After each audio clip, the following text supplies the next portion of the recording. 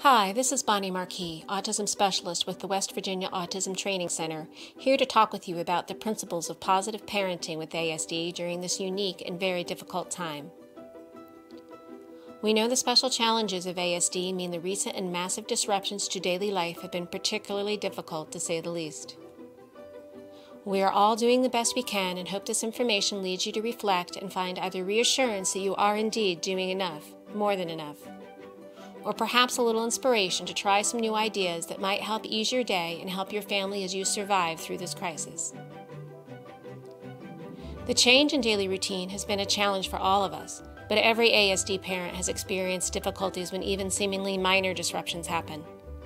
And while you probably won't be able to duplicate the structure and routine of the school day, it is critical to maintain as much rhythm and predictability as you can. Whether you choose to follow a strict schedule using the clock to guide your day, or if you need the flexibility of a routine where you do, in general, the day's order, but the time spent on each may vary depending on the challenges and opportunities presented. In either case, embedding choice into the day is key to improving cooperation, building a bit of independence, and also giving your child an appropriate level of autonomy and control. And of course, the choices offered matter, and there are many opportunities to help guide your child or teen as they go about their day. Establishing rules and expectations, but giving them ownership over their selections and contributions and visual supports help everyone with rules and routines. And indeed, we could provide an an entire training on this topic alone. And we do, in fact, have some great resources on our website and Pinterest page. But if I had to pick my favorite strategy in the positive parenting toolbox, it would be that of the first then contingency. Presenting it visually helps maintain focus and motivation through an unwanted task, but even more casual approach, modeled and presented verbally, can make this a powerful method for getting kids to meet our expectations. First, we'll clean up this mess together and then we'll go outside. But also be aware that you are likely going to need to give more help and support across the board than you were before. The stress and anxiety of this time may make their usual level of performance unrealistic. So set expectations that have a high likelihood of success so that you can build on that positive outcome knowing you might have to offer lots of help or lower the bar a bit. Even typical kids are regressing a little, whining more, wanting more done for them, and it's natural for them to want to return to a simpler time, and it's okay to indulge that to a point. Just maintain the principle that we are all in this together and we are all doing the best we can. Everyone is struggling with some degree of uncertainty but a lack of understanding and an inability to predict are central issues for those with ASD, so it can be helpful to make an effort to build as much understanding as you can. And social stories are a great evidence based strategy for doing this, and we've already shared several on our website on various pandemic topics. And while we should do all we can to build as much predictability as possible, we caution you against making any promises you can't keep. It's tempting to offer something to look forward to, but you may be inviting a meltdown if circumstances do not allow you to follow through. And I know plenty of adults, typical adults, that are not coping well with this, so it's no surprise that some of our guys are having trouble.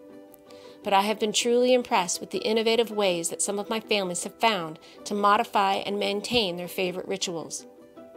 Although, to be sure, some will find these attempts inadequate and frustrating, so it's important to acknowledge and be ready for that. As parents, we need to allow our children to be upset.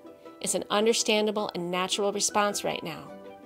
But learning how to express upsets without turning aggressive or hurtful is a vital skill and is important to understand that these kids may need physical outlets to process and move past their feelings. And at this time, there will be frustration, probably a lot of it, and much of it aimed at you as you try to take on the role of teacher.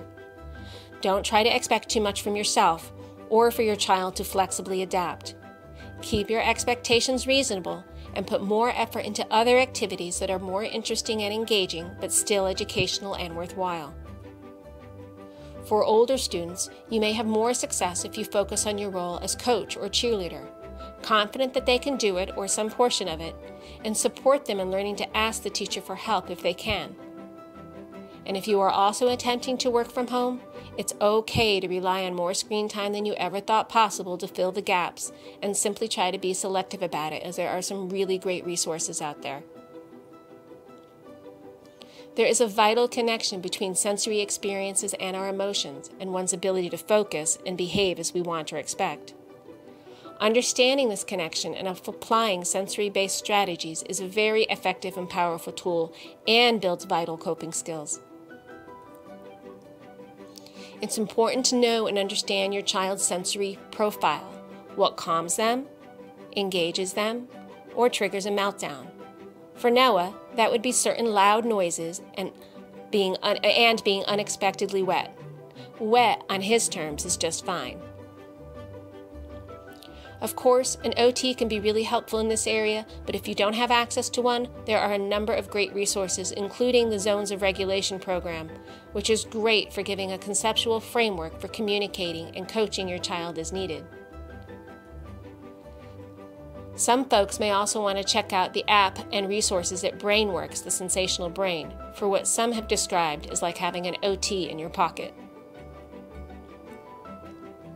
And as the parents, we also need to find ways to take care of ourselves, and that is far from easy. Whatever strategies resonate with you and work in the context of your family, incorporating these into some sort of routine will help you prioritize the health and well being of you and your family and whether they are done alone so you have some much needed time to yourself, or in more of partnership or group activity that brings your child into the task and sets them up to learn vital skills for daily living. If you want to learn more about self care and building responsibility, you can check out the Technical Assistance Center's YouTube channel connected from our website.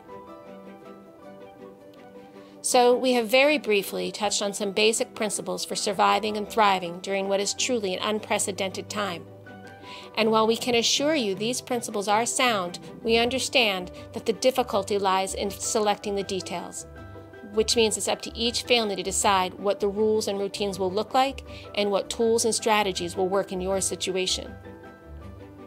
As mentioned previously, we have more detailed information on both visual supports and sensory solutions, as well as specific social stories related to this pandemic. We hope that you will check them out, and please contact us with any questions or comments. We'd love to hear how you are doing, and please stay safe.